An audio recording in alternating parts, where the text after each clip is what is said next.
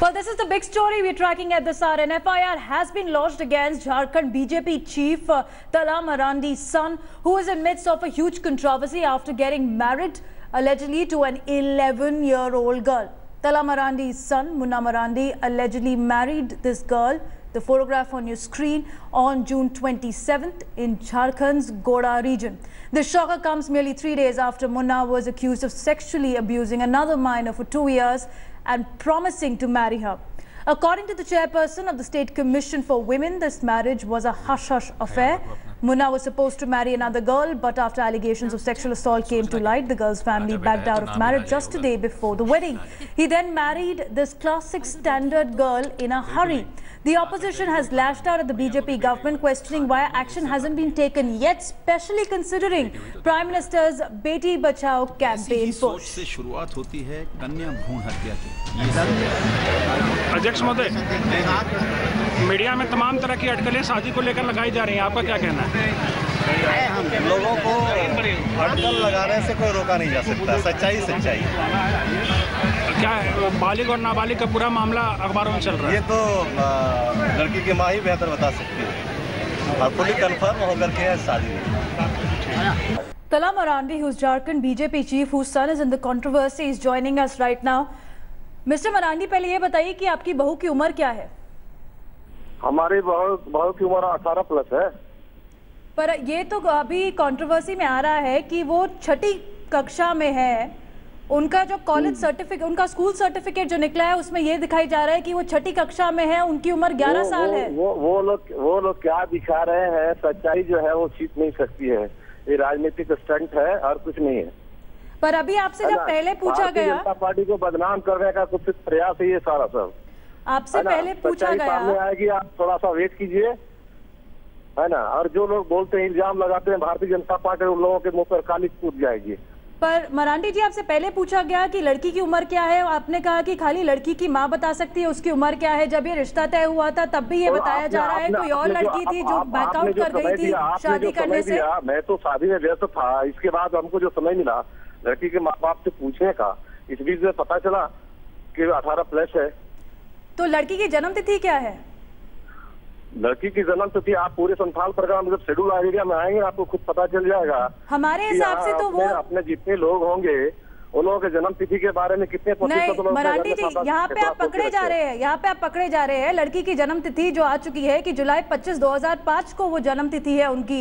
और यहाँ पे जो हमारे पास फोटोग्राफ भी है उसमें साफ़ नज़र आ रहा है वो नाबालिग है। खुद पता चल जाएगा आपको खुद पता चल जाएगा यहाँ आने के बाद उस लड़की को देखने के बाद ये तो बात हो रही है हवा हवाई बात हो रही है ना? शाम में आकर के देखेंगे तो आपको खुद पता चल जाएगा कहीं इसको और ज़्यादा अंधकार में कहीं आपका तीर चलाने की आवश्यकता नहीं पड़ेगी। पर ये कांग्रेस आपके ऊपर ये लांछन लगा रही है कि एक और किस्सा था जिसके अंदर नाबालिग लड़की एक और इन्वॉल्व है मैं सेक्सुअल अब्यूज का एक और लांछन लग रहा है आपके बेटे देश पर में आप अच्छी तरह से जान रही हैं। अपने गरीबान पर झाँक करके देखे इस देश की संस्कृति को लोगों ने भेज डाला है। और पर- एक आदिवासी पर इस तरह का इल्ज़ाम लगा करके आदिवासी की संस्कृति और संस्कार पर इन लोगों ने प्रश्न चिन्ह खड़ा करने का प्रयास किया है वो किसी भी तरह से इसको जायज़ नहीं ठहराया जा सकता। पर मरांडी जी क्या आप किसी भी जाँच के लिए और क्या आपका बेटा किसी भी जाँच के लिए तैयार है? ताकि दूध का दूध और पानी का पानी हो जाए। क्यों नहीं? Why not any time okay Marandi ji हमारे साथ बने रहिए। We also have doctor Ajay Kumar who is the Congress leader now Mr. Kumar, uh, Mr. Marandi is with us and he can hear you as well. He is saying it's just part of a political conspiracy from the Congress's camp. My daughter-in-law is 18 year old. देखिए मैं मरांडी जी का बात सुन रहा था तो पहले तो देवीना जी मरांडी जी को पहले तो अपने अध्यक्ष पद से इस्तीफा देना चाहिए जब तक ये जाँच पूरी तरह से नहीं होगी दूसरी बात है कि इस मामले को अगर मरांडी जी बोल रहे हैं कि आदिवासी समाज के विरोध है ये तो ये तो बेतुकी बात है हम लोग का ये कहना है कि इस देश के कानून के लिए आदिवासी समाज में इतनी जागरूकता है सब लोग इतने समझदार हैं। और किसी न किसी को बाल विवाह के खिलाफ तो आदिवासी समाज के सभी नेतागण जो लड़ते आ रहे हैं। हमारा यही कहना है कि जो दो आरोप उनके बेटा पर आई है दो गंभीर आरोप आई है एक लड़की ने बलात्कार का आरोप लगाया है और दूसरा ने जो दूसरा आप ये टीवी के न्यूज़ के कांग्रेस के माध्यम जी। से जो, जो जी। आम जानकारी जो जनता के बीच में है। जी।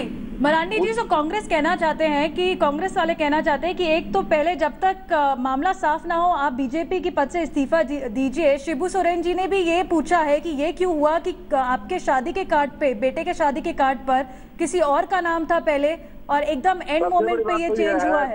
यहाँ पे तो कुछ गड़बड़ नज़र आ रही है। आपका भारतीय जनता पार्टी का जो पद है ना हाट बाज़ार में बिकता नहीं है। जब चाह मतलब की पद ले लिया जब चाह मतलब कि पद छोड़ दिया।